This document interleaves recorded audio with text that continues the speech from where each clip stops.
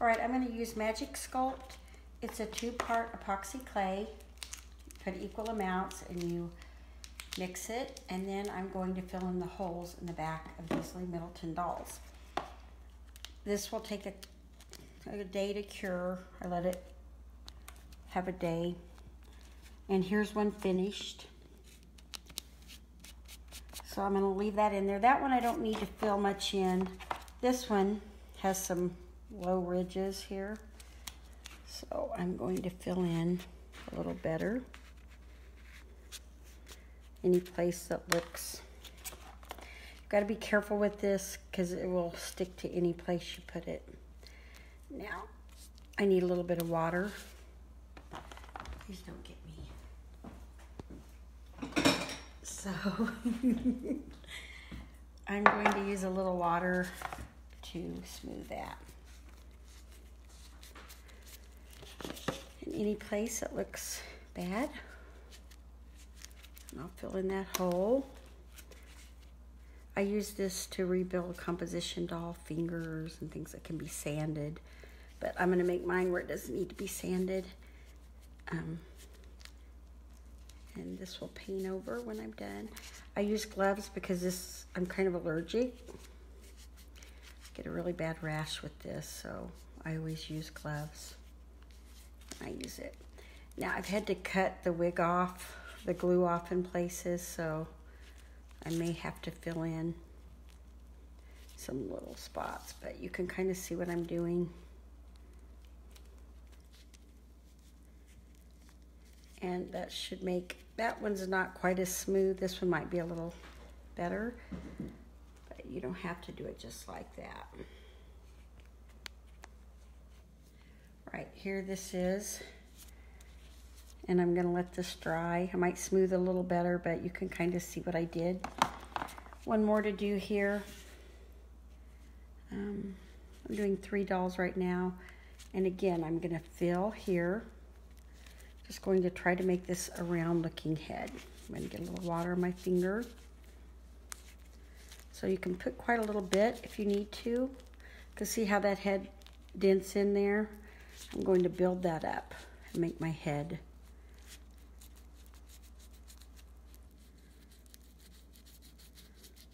rounder. So I'm going to work on this and I'll take a picture when I get it done. But this is epoxy.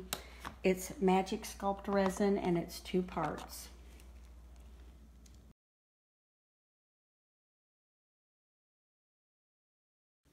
So here's my Lee Middleton. I have baked her head, so I'm going to put some more color on. I've got her body over here. I'm restoring her. I'm planning to take her to the nursing home. And here's her body. I've cleaned her up with a, a magic eraser. So she looks pretty good. Here's one that I haven't removed the hair on. And I, I think I'm going to remove her hair though. I washed her eyebrows off. And I've added new eyebrows to this one. So I'm just kind of showing where I'm at. Um, I need to get this darker. So I'm going to work on her. And I'm going to show you all how to reborn Lee Middleton dolls pretty quickly. So you can donate to the nursing home. All right, so first I'm going to I'm using heat set paint, so I'm going to use a little black now in my mixture with my brown. And here's a little, this is carbon black. So, and then this is raw umber. And I got a little bit too much paint thinner for that. What I'm going to do is I'm going to, I put a little clay in there. I don't know if you can see that clay. And I've baked it. It's Sculpey clay. So I could fill the hole in. So I'm just putting a little black on this to darken this area. This is how simple I'm doing this. So that's pretty solid now looking. So then I'm going to work on the detail, which I've kind of already done, but I'm just going to kind of bring this darker color on up a little bit around the edges. Kind of like, this is just a mixture of black and raw umber, which gives you a nice dark color. So there's not a lot of detail that I'm doing with this brush. Just kind of using, I think you could use really any brush for this. I'm just kind of using this one. It doesn't look the greatest, but it'll work. Now, this brush is, this is a liner. It's, um, I think it might be a number, no, it's a number one. It's big and fat. It's gross. It kind of separates, but that's why I'm going to use it because I like it because it separates. So I'm going to kind of show you, I'm going to darken what I've already painted up here. And sometimes I get a couple lines with this because it separates. See that? So sometimes when your brushes get old, you don't have to toss them if they separate. You can use them for making hair. See how I made several lines with that? And that kind of, I'll use a little more detail on the front of this, but I'm just going to kind of blend this in where I've painted darker.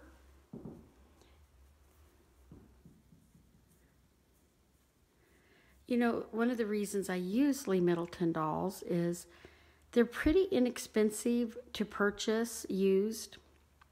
You can take them apart. Oops, let me show you my body. I just moved my little makeshift camera. Um, you can take these bodies apart and you can really um, just clip the zip ties. You can remove the stuffing, put new stuffing in. You can wash these bodies. I wash them even though they have plastic disc in the, the arms and legs. I still wash them. You can save the plastic beads, but I usually also add some glass beads for weight in the stomach. But I like them because they're cheap. They already have eyes in them. A lot of times they can take a pacifier. Um, this particular one I'm not for sure about, but a lot you can buy a pacifier that will poke in so you don't have to use magnets at the nursing home. And they just feel like a real baby. They, they're fun to hold. So that's one of the reasons I really like to use um, Lee Middleton dolls at the nursing home. You can clean them, and a lot of times they sell cheap if they don't have a, a good wig. So I usually still have to pay around $30 for the actual doll. Um, sometimes 35 with shipping after the shipping's included. I kind of look for good bargains. I also have a friend that purchases at a thrift store dolls for me to repaint for the nursing home, but um, I've been buying some of these online also so that I can give more. Now you're going to see me kind of blend this in, and this is really simple. I'm kind of going forward on this hair. You kind of can see my pattern. Now I can add a little more detail later, but I'm just going to bring this forward and kind of blend what I've already painted solid in.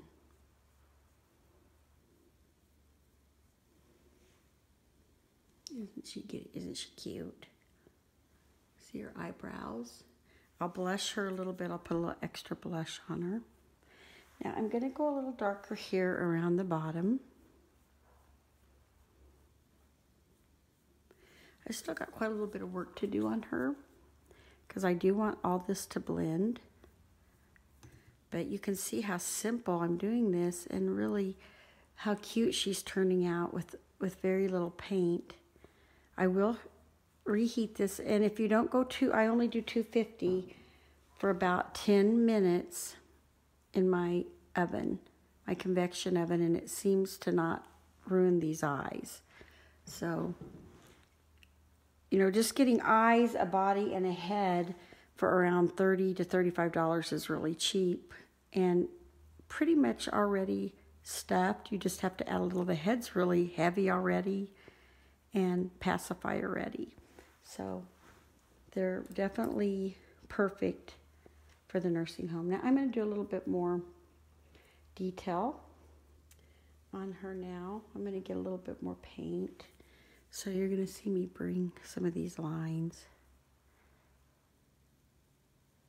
down.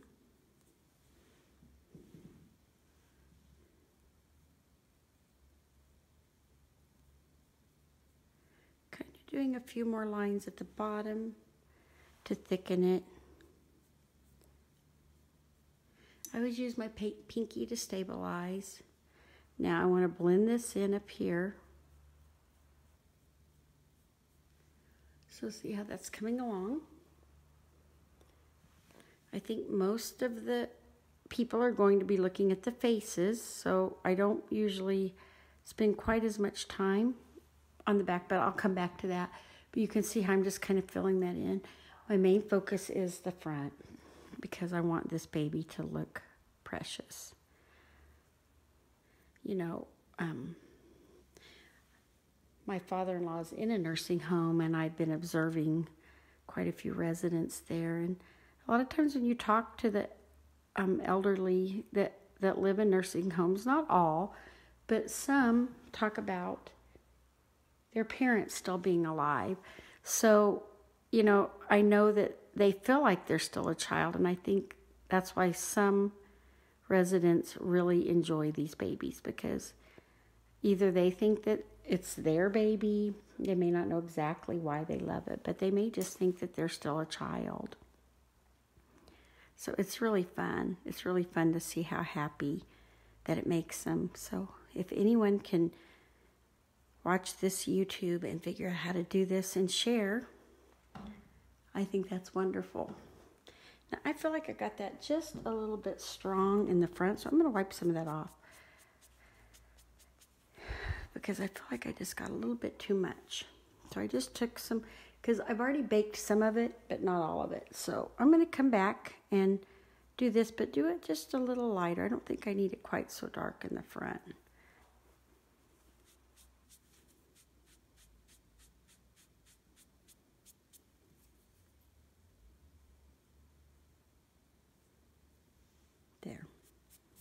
That's just a little bit less. I think I like that better.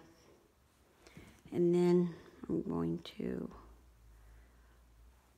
this is where the detail comes in. And I'm not doing a lot, like I said, but I'm still trying to make it wispy and bait. I want it to look like hair. Otherwise, it's not going to be pretty.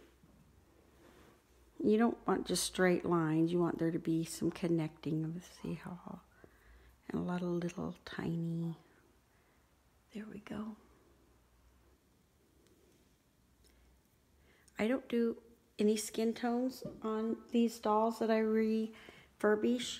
I will repaint her lips a little and I'll put a tiny bit of blush. I don't do any layers of skin. I don't feel like there's any need to. The plastic or this vinyl, it is vinyl, it's squishy. It's a little different than reborning. It almost takes paint better but it's a little bit hard sometimes to get the blush on because it seems to absorb pretty good. So, I don't know. I just decided that they're pretty cute. Honestly, just the Lee Middleton dolls are beautiful. So, I just decided I wasn't going to spend a lot of time on them because then I knew I wouldn't do it probably. So, this helps me to do it quickly and make them cute. I've also I also did a few of these at Christmas and gave to some children in my community and I've given a few to preschools. I think that they're a nice um, doll for children. I painted the lashes on so they won't be coming off. Now I'm coming a little darker around the edges of the hair.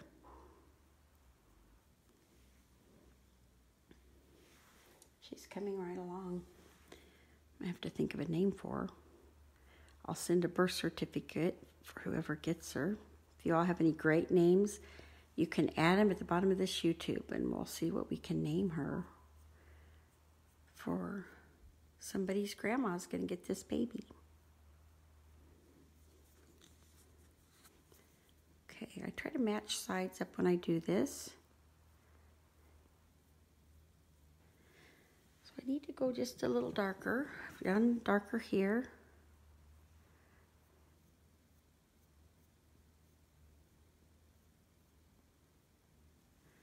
Now,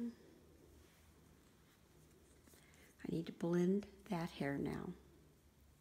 Sometimes I'll go backwards, but kind of just however I can get my blush, my brush to flow. I am using a number, let's see if I have a number on this. It's pretty old. It's a zero liner. And I don't know that it has a brand on it.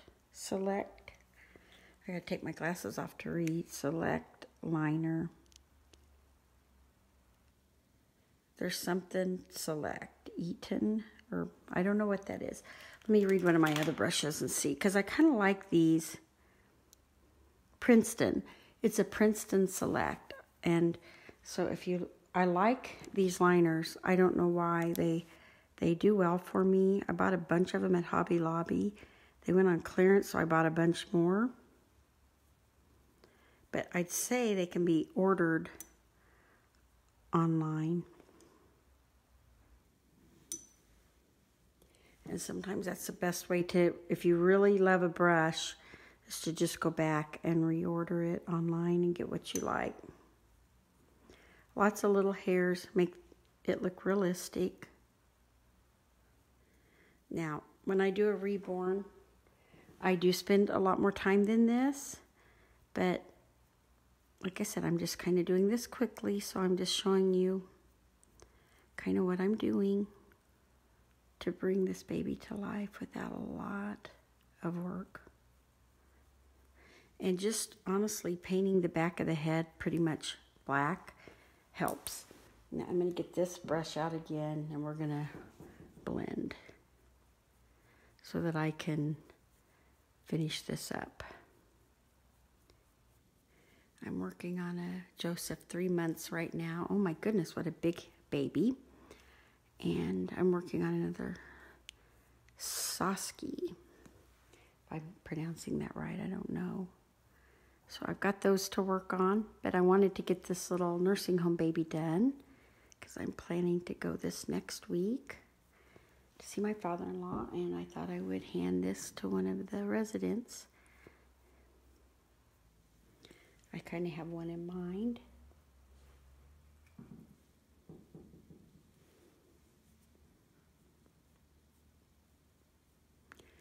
Still darkening the edges up. This is my brush that gives me a couple, sometimes lines when I use it, so I kind of like it. Oh, I hope I had that in there. And anytime you see, you know, you can always try to blend. Okay, let's see where we're at. Pretty good, pretty good. Okay, we need to work on this bottom a little and blend. There's kind of a ridge there showing. Let's paint that in. And then I'm going to kind of darken that. So it doesn't have a lot of detail there, but there will be some. When I get her all together with her pacifier and get her weighted, she will be a fun baby. I'll redress her. And she's going to be precious.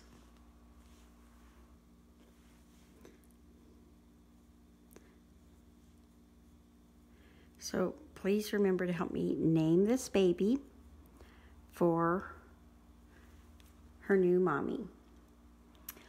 I'm pretty pleased with her. I think she's not perfect, but she's done pretty cute.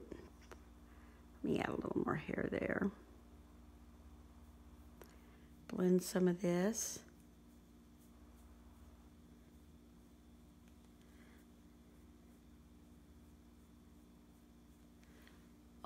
Let's look at her. Yeah, I think she's precious. I think I got the back thick enough. Let's turn her. Oh, I got a bald spot. Let's fix her here.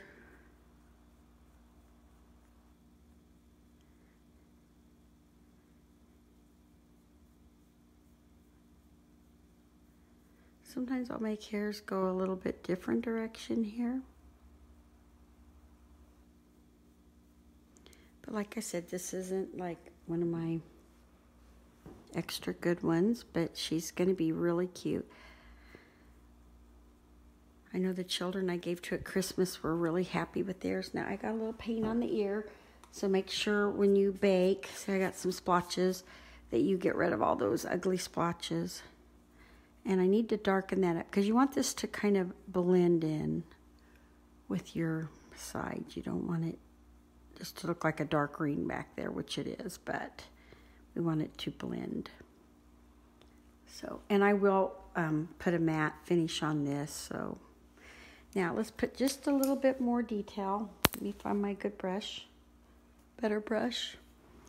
I'm going to bring, I think that around a little there.